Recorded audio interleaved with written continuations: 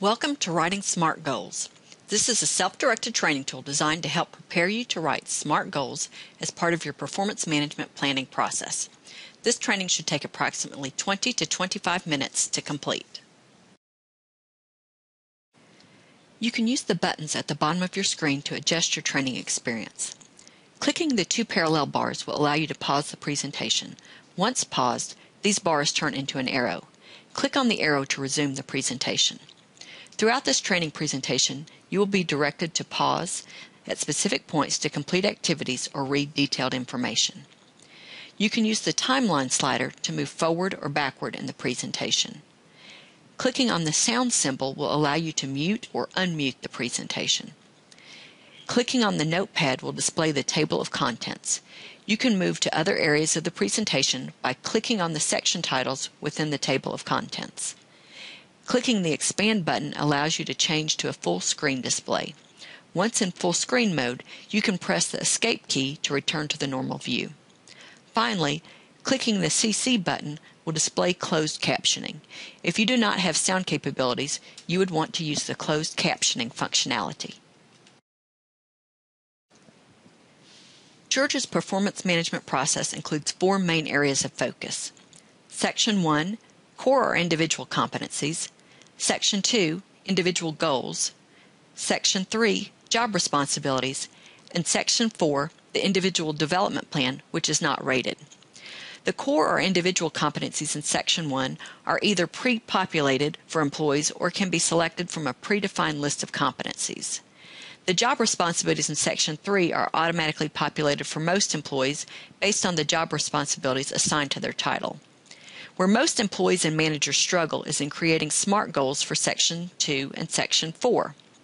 In addition, because traditional job responsibilities are not necessarily measurable or results focused, it is recommended that managers and employees translate these responsibilities into SMART goals and include them in Section 2. Creating SMART goals for these sections will be the focus of this training session. So, what is a SMART goal? A SMART goal is one that is specific. The goal should state in clear terms what will be accomplished. It is measurable. The goal must be stated in quantifiable or measurable terms. It is attainable. The goal must be attainable given resources that are available. It is relevant. The goal must be something that is important to achieve. It must matter to your department, agency, and the state. And a SMART goal is time bound. The goal should clearly state the time period in which it will be accomplished. Let's spend a few minutes looking at each of these criteria in more detail. Specific. Goals should clearly define what you're going to do or accomplish. This is most easily achieved by using action verbs like increase, reduce, implement, create, coordinate, etc. When trying to make your goal specific, ask yourself, what do I want to accomplish? Why do I want to accomplish this goal? Who needs to be involved and how will I accomplish the goal? By doing what? Measurable. Goals must be measurable so you have evidence that you've accomplished your goal. If a goal isn't measurable, you won't be able to determine if you succeeded in reaching it or not. When trying to make your goals measurable, ask yourself, how much, how many, and how will I know when it's accomplished? Attainable. Goals must be attainable but still provide a stretch. They should be challenging but not impossible to achieve. When trying to make sure your goals are attainable, ask yourself Can I achieve this goal? Does this goal provide a challenge for me? Do I have the necessary knowledge, skills, and abilities to accomplish this goal? And can I achieve this goal given the resources that are available? Relevant. In order to be smart, goals must be important to achieve. This means that they need to be aligned with your department's and your agency's strategies and goals. Accomplishing the goals must make a difference to the organization. When trying to make sure your goals are relevant, ask yourself, how does the accomplishment of this goal align with and support my agency's strategies and or goals? Is the purpose or benefit of accomplishing this goal important to my agency? And what would the impact be of not achieving this goal? Time bound. Goals must state a limit or deadline by which they are to be achieved. If a specific deadline isn't established, the goal will be too vague and won't be truly measurable. The time frame for your goals should also be within the performance cycle you're in. If the overarching goal would normally extend through multiple years, you should break it into smaller goals which can be accomplished within one performance cycle. When trying to make your goals time bound, ask yourself, when must this goal be accomplished? And does this deadline create an appropriate sense of urgency? So why do SMART goals matter? Won't any goal work? Let's walk through this example to see why SMART goals are important to an efficient and effective work plan. What if I said to you, bring me a rock? You are a go-getter and decide to bring me the best and biggest rock you can find, so you bring me this giant boulder. I say to you, that's a very nice boulder, but I really wanted something smaller, something I could carry around. You search long and hard and find a beautiful, smooth black pebble to bring me, perfect for carrying around. Now I say to you, This is really lovely, but I actually wanted a red stone. It's my favorite color. Finally, you bring me exactly what I was looking for a small red stone that I can carry around. Although you finally achieved the goal of bringing me the rock I wanted, a lot of time, energy, and resources were wasted because the goal wasn't clearly defined using the SMART criteria. In today's competitive environment, we don't have the luxury of wasting time, energy, or resources by pursuing the wrong goal. We need to get it right the first time. Poorly written goals are typically very vague, general, and broad. They may be focused on achieving a good end, but they aren't specific enough to be measurable, so it is difficult to know if they've been achieved. Become more healthy is a poorly written goal. It's focused on a positive end, being healthy, but it doesn't include any specifics. SMART goals, in contrast, are very specific, using action verbs to spell out what will be delivered. They provide specific measures so that you will know when you've achieved success. They are tied to the organization's bigger goals and should take effort to achieve. Because they include a specific deadline or timeline, you know when the results are expected and can pace yourself accordingly. Lose 10 pounds by July 1st, 2000X is a SMART goal. It tells exactly what I will do, and I can easily determine if I've reached my goal using the criteria provided. Let's look at some samples of goals for an HR recruitment specialist. The first example is fill more jobs, while the second example is to increase jobs filled as a result of job fairs at Georgia two year and four year colleges and universities by 5% by the end of the fiscal year. When we try to evaluate each of the goals by the SMART criteria, we can see that the first example doesn't provide enough information to make the goal SMART. It isn't specific, measurable, or time bound.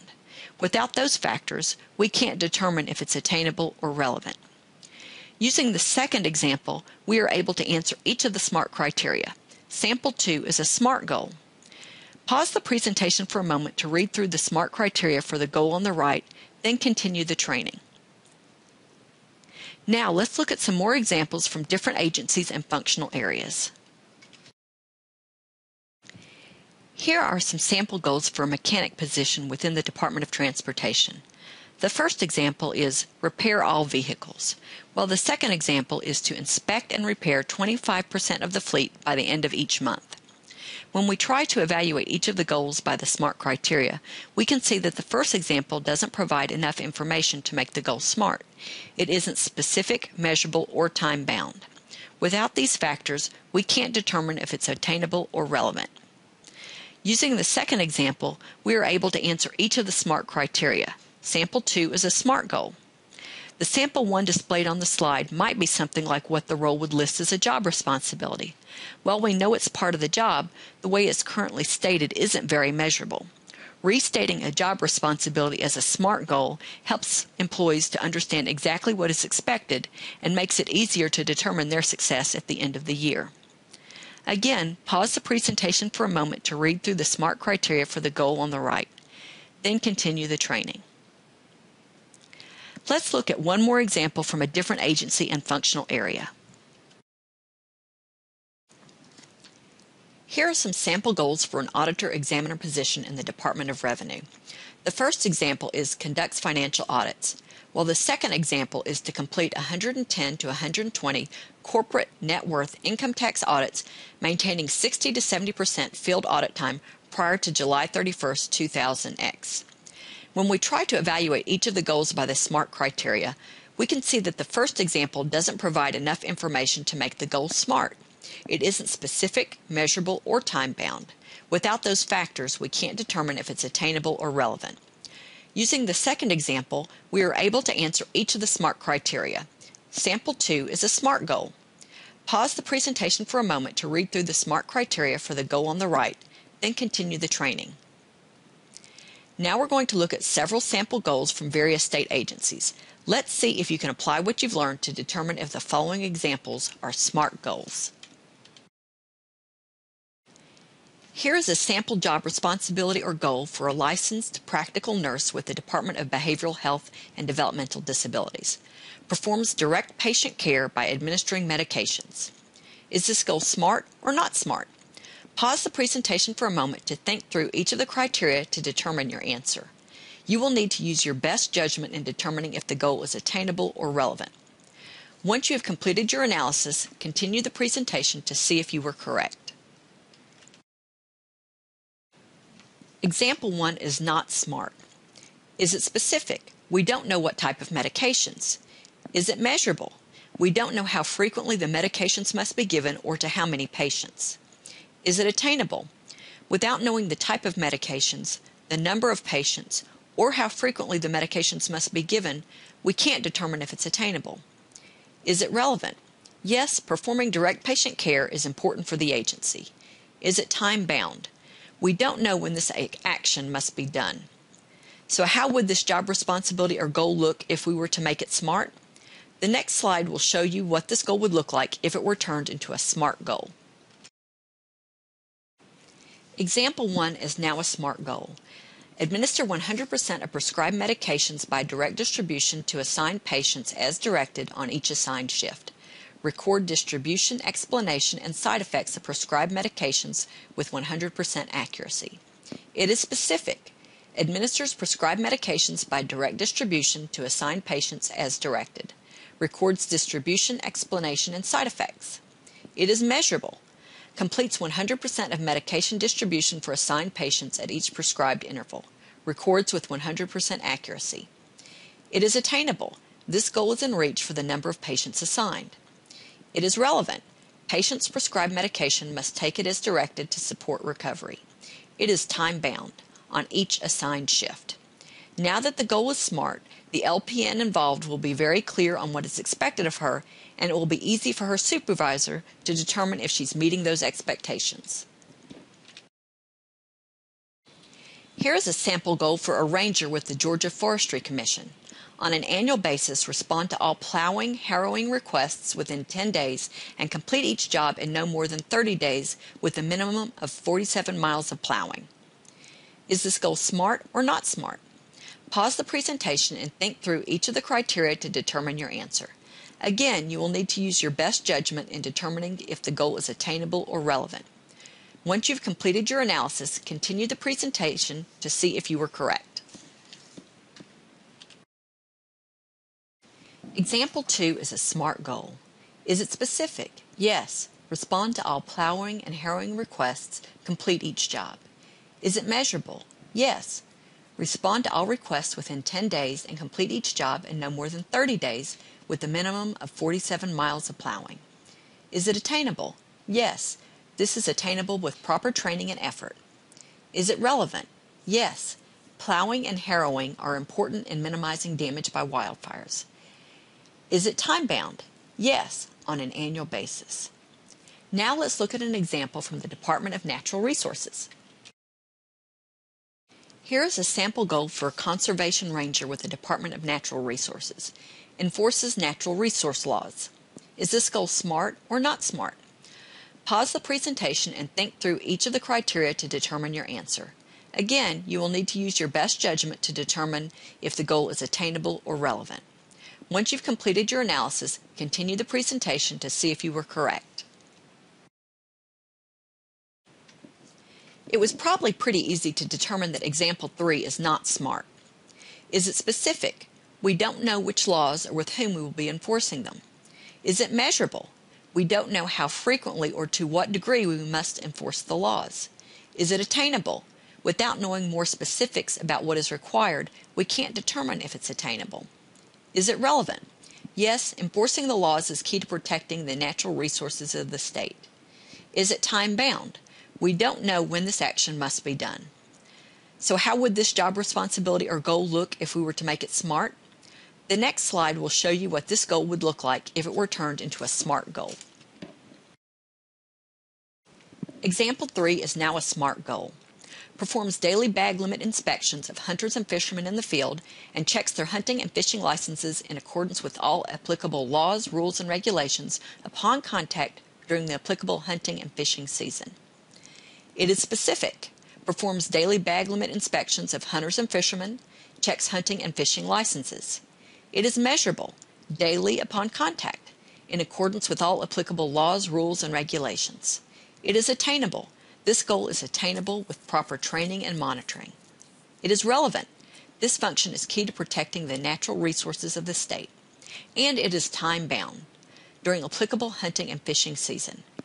Now that the goal is SMART, the conservation ranger involved would be very clear on what is expected of him, and it would be easy for his supervisor to determine if he's meeting those expectations.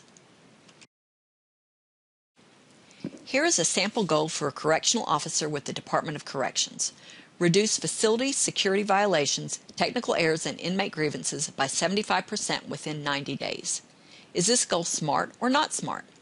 Pause the presentation and think through each of the criteria to determine your answer. Again, you will need to use your best judgment in determining if the goal is attainable or relevant. Once you have completed your analysis, continue the presentation to see if you were correct. Example 4 is a SMART goal. Is it specific? Yes, reduce facility security violations, technical errors, and inmate grievances. Is it measurable? Yes, reduce by 75%. Is it attainable? Yes, by knowing and executing on GDC SOPs, LOPs, and post orders. Is it relevant? Yes, this would increase safety and security at all facilities. And is it time bound? Yes, within 90 days. Now let's look at one more sample from another agency before we let you try to create a SMART goal for yourself. Our final sample goal is for a Title II administrative support position within the Professional Standards Commission. Respond to all customer contacts and meet stated customer requests. Is this goal SMART or not SMART? Pause the presentation and think through each of the criteria to determine your answer. As before, you will need to use your best judgment in determining if the goal is attainable or relevant. Once you've completed your analysis, continue the presentation to see if you were correct. As you probably determined, example 5 is not a SMART goal. Is it specific? We don't know what type of requests or how we need to respond. Is it measurable? We don't know how quickly we must respond or how many requests we must respond to. Is it attainable? Without knowing more specifics about what's required, we can't determine if it's attainable. Is it relevant? Yes, customer service is a core competency for the state and a key focus for the agency. It is also a key responsibility for this role. Is it time bound? We don't know when this action must be done. So, how would this job responsibility or goal look if we were to make it smart?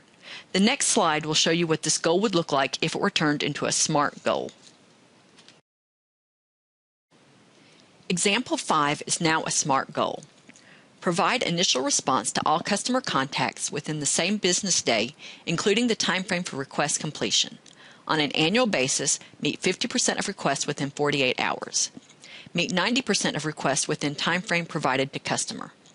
Document initial customer inquiry, initial response, time frame provided, date of completion, and nature of service provided. It is specific.